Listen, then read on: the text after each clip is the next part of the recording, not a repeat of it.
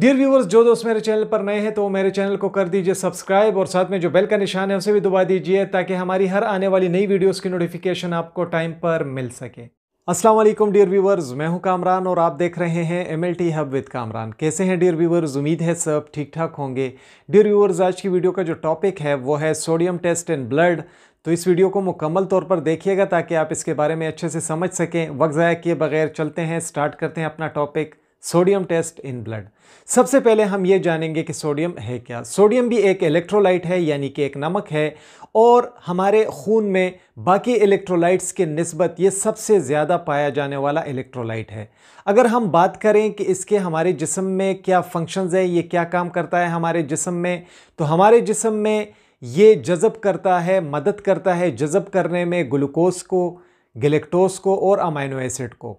तो उसकी एब्जॉर्बशन इसकी वजह से बेहतर तरीके से हो पाती है।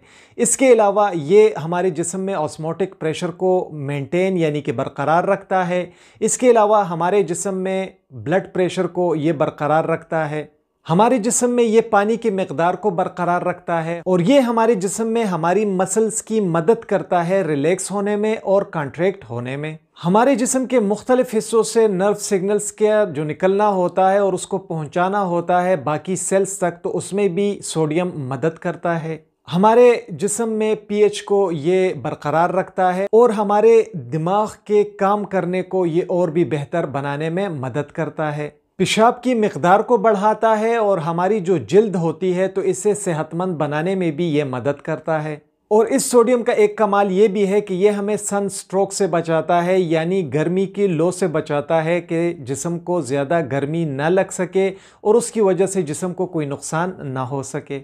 अभी बात करेंगे कि सोडियम टेस्ट की खून में तशखीसी अहमियत क्या है तो इसकी मदद से हम पता लगा सकते हैं कि जिसम में एसिड बेस बैलेंस किस तरह का है।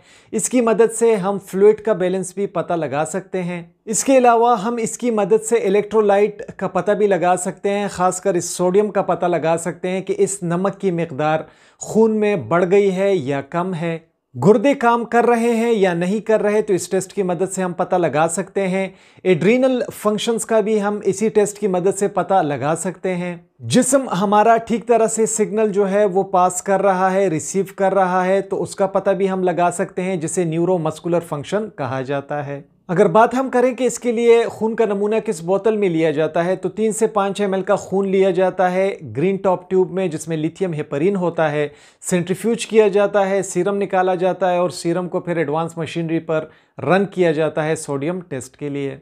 अब उन वजूहत पर बात करेंगे जिन वजह की वजह से खून में सोडियम का लेवल बुलंद हो जाता है और जब भी खून में सोडियम का लेवल बुलंद होता है तो इस हालत को कहा जाता है हाइपर नेट्रीमिया और जिन वजह की वजह से होता है, वो वजह हैं जिसम में पानी का कम होना, पेट का ख़राब हो जाना, डायबिटीज़, इंसिपिडस, गुर्दों का ठीक से काम न करना, उल्टियों का हो जाना, बुखार ज़्यादा रहना ऐसे दवाइयों का इस्तेमाल जिन्हें डायूरेटिक्स कहा जाता है, जो पेशाब की मकदार को बढ़ाते हैं।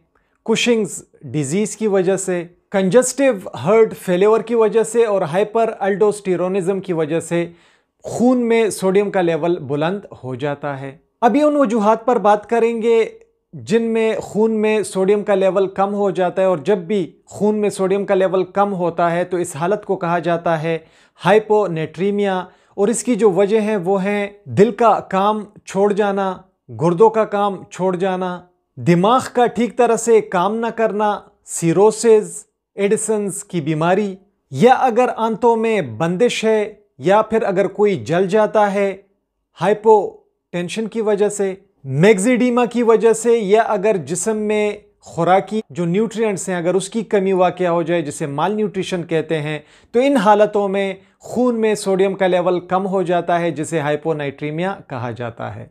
Thank you so much dear viewers for watching M L T hub with Kamran उम्मीद है ये लेक्चर आप लोग को पसंद आया होगा। अगर आया हो तो वीडियो को लाइक कीजिएगा, अपने दोस्तों के साथ शेयर कीजिएगा।